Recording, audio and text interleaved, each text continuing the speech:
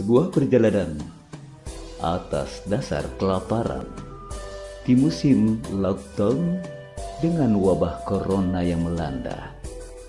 Dan ini Mbak Femi Bintang yang mencoba mengais sembako yang disebarkan oleh lembaga kesenian. Halo mbak, ada apa? Bisa dibantu? Ya, saya mencari sembako dengan beberapa lauk pauknya. Apakah ada? Hah? Ya, kalau cari sembako tidak akan bisa di sini karena stoknya sangat sedikit dan ini zamannya corona lockdown. Oh begitu. Ah, pengen apa mbak? Coba. Iya paling tidak. Oh iya, kalau itu silakan ambil saja sendiri. Ada tempe goreng di dalam. Oh Ya, ambil aja tempe goreng, tahu goreng, ikan goreng, teri, jengkol, dan masih banyak yang lain. ya kalau jengkol Iya, itu ambil aja. saya. Eh, Oke. Mari ya masuk.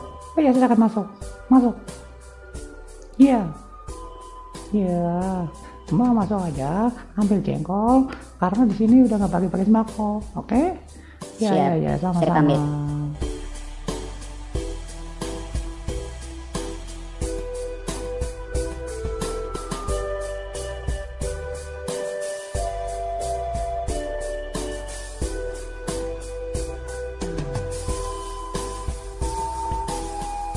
Siapa itu mas?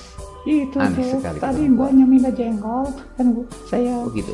saya bilang nggak Iya, ada, iya. dasar lucu. Oh, jengkol. Ya, Ya, makan saya juga.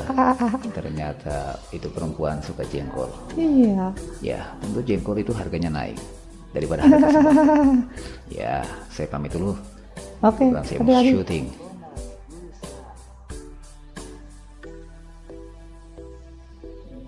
Hurisrat berpamitan dan Femi Bintang pun menyusul meninggalkan gedung Balai Latihan Kesenian.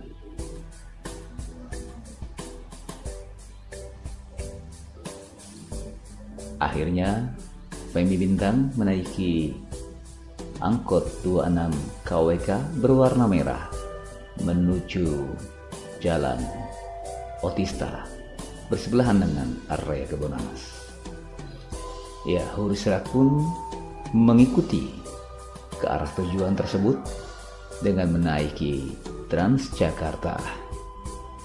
Ya, perjalanan ini cukup melelahkan dari bangun pagi, siang, sore, dan menempuh perjalanan yang cukup panjang. Para penonton doakan untuk saya sampai di tujuan yang saya inginkan. Kondisi ini saya berjalan tanpa memegang uang, perut lapar dan memang bulan Ramadan, jadi terpaksa saya tahan. Ya, saya memakai masker dalam rangka untuk mengantisipasi dari beberapa wabah yang disebut corona. Ya, kita sudah sampai di Jalan Panti Asuhan, tepat di area bersebelahan dengan kantor kelurahan Cipinang, Cempedak. Nah, Femi Bintang dan saya sudah tiba di kediaman Abah Nendra. Ya, silakan masuk, Mbak.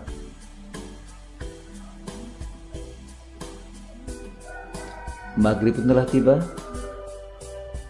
dan Mbak Femi telah mengucapkan beberapa sepatah kata. Nah, itu disediakan air minum botol mini sekali. Ya, ini ada Bang Dodi, orang teater. Ya, ya. Perjalanan Ramadan 1441 Hijriah yang tertimpa dengan musim lockdown akibat wabah corona.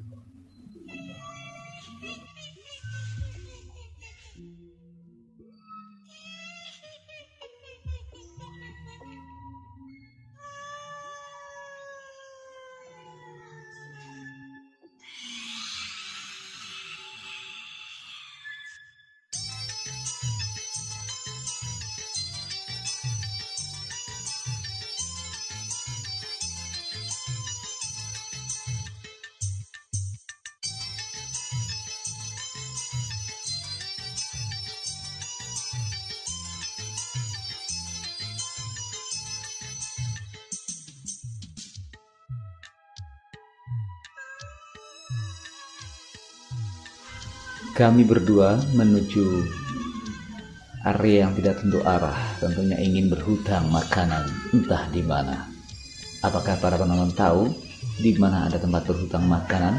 Karena kami sudah lapar sekali. Tadi berbuka puasa hanya air minum saja. Oh ya, akhirnya kita tiba di tempatnya si Randy. Randy telah menaiki motornya dan menyebut kami dan coba kita mencari Hotel Arion di Jalan Pemuda, Jakarta Timur, Rawamangun. Ya, nampak Mbak Femi keluar dari ATM. Mudah-mudahan dia bisa hutang dengan ATM. Eh, tidak bisa ya. Baik, baik, baik. Tapi sepertinya tidak berhasil mencari uang dari ATM. Apakah kita akan meneruskan makan? Entahlah. Randy sudah standby untuk mengantar kami dalam perjalanan mencari sesuap atau lebih daripada 10 suap nasi.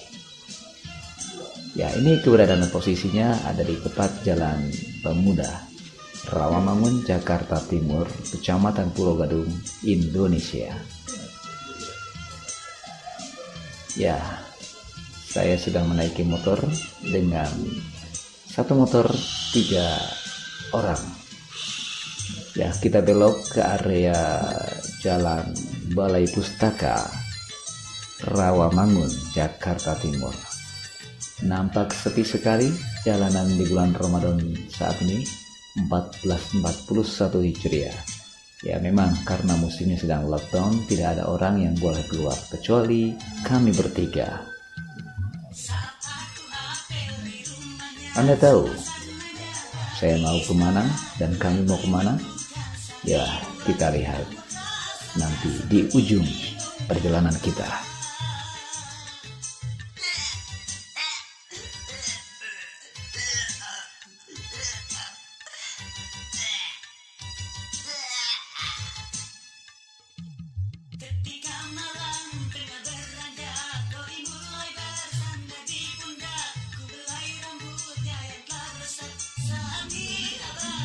Ya, kita hampir melewati area tol serba tip top yang masih berada di Jalan Balai Pustaka Rawamangun.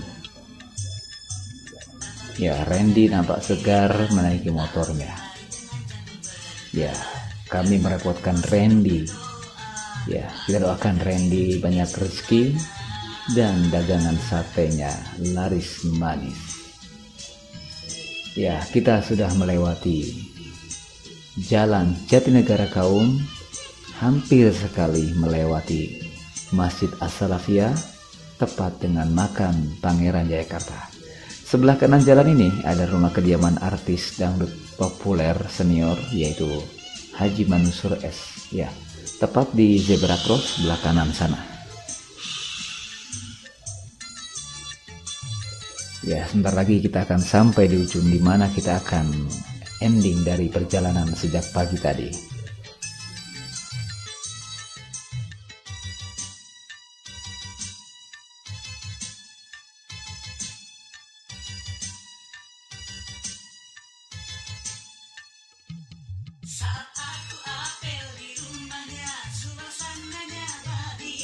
Oke bro, makasih. Hati-hati kau ya. Yuk.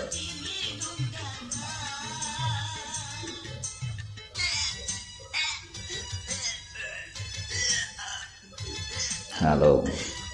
Malam ini saya sudah terdampar di warung lesehan. Tentunya saya sangat lapar. Dari perjalanan uh, pagi, siang, hingga sore ini. Ya, lapar sekali.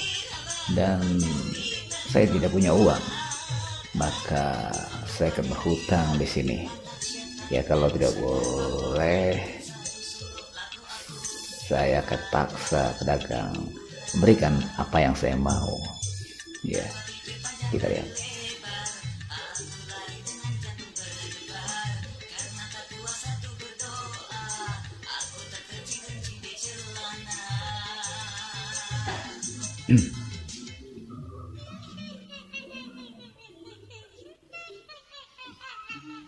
Hmm.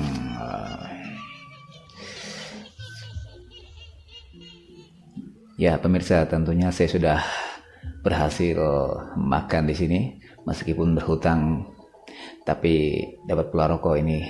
Dan kalau kalian mau berhutang silahkan datang saja ke sini. Ya ini baru serba gratis.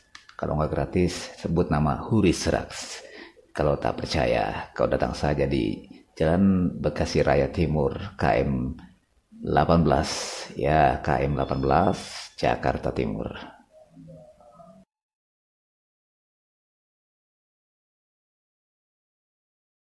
Ya, ini promosi terbuka. Warung ayam bakar berkah doa restu. Dan wisata kuliner ini dipersembahkan oleh Hurisax dan harga murah terjangkau dengan beberapa sajian menu yang bermasyarakat.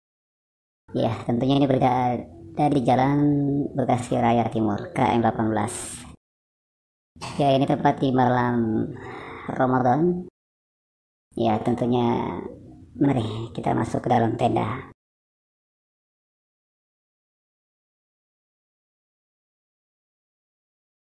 Ya di sini uh, kita jumpa dengan beberapa meja dan ini pedagangnya Mas Orham namanya.